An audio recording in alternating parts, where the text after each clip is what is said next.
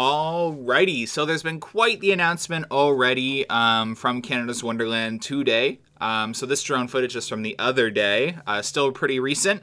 And I was making a separate video with the drone footage, but I was like, there's nothing really to talk about in this footage, so I might as well use it to talk about their announcement today. So for those of you that don't know, Canada's Wonderland has officially delayed their opening to about midsummer. That brings us to end of June, beginning of July, mid-July. Um, again, our original prediction for Canada's Wonderland opening has been pushed back to July for this channel as well. I think we're looking at mid July, as I've been saying a couple times, for an opening with the vaccination numbers. Um, and the numbers declining, I, I do think there is still a chance that Wonderland could open early mid July. And uh, I'm just going to keep that optimism. Um, but nonetheless, there is a few things to talk about. So a lot of people I see are talking about, oh, why is it only being extended to Labor Day uh, 2022? So with the season passes being pushed back. So if you own a Canada's Wonderland season pass, they are now good until Labor Day 2022.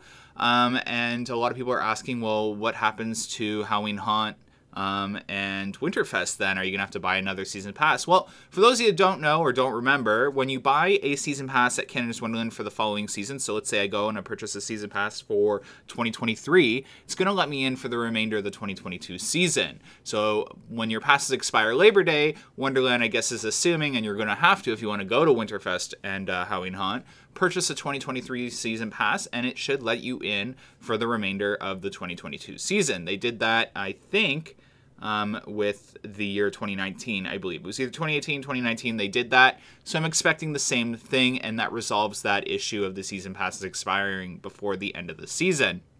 Um, with that being said, there are still a few things in the park that are going to require a lot of work. So there's one section under Vortex that still has Winterfest set up.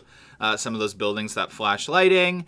Um, all the rides are wrapped and not ready to go. The Bat also doesn't have the trains on the track um, from what I remember near the beginning of the lockdown. So those trains are still not assembled on the track. So there's still a lot of work, but there's also a lot less work. Minebuster is still in disarray. They haven't even finished the woodwork on Minebuster, um, let alone the track work. So the thing though with Wonderland is they got a really strong team, and I can see them wrapping up all this really quickly and getting the park ready. Wonderland always seems to surprise me in terms of how fast they can get things done, and I wouldn't be surprised if uh, that hasn't changed at all.